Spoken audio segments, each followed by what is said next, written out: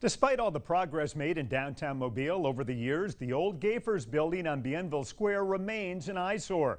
There have been many plans to renovate the building over the last three decades, but nothing has ever come of them.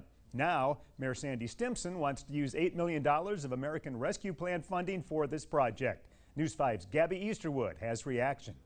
A revamp to a long abandoned building in the heart of downtown Mobile is back on the table. It's just a very exciting project for the downtown area. There is backlash too. Some think the proposed $8 million should be used elsewhere. And this location would not benefit those who need it the most. The Gayfer's building, which sits just off Bienville Square, is the space in question. The proposed plan would create 95 workforce units with an income cap.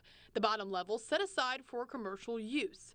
Multiple residents addressed council today, saying other areas are in dire need of affordable housing. Poor people who need the affordable housing do not live in downtown Mobile. So why do you want to put $8 million into a building where the people who need it don't reside there? The mayor says that wasn't an option, though. There is no other shovel ready project for affordable housing in the city. You have to have a developer that's willing to spend the money in those areas, you know, to build a project. And if you don't have a developer that wants to do that, you don't have a project. Nonprofit developer, Gulf Coast Housing Partnership, is willing to put up another 16 million to complete the renovation.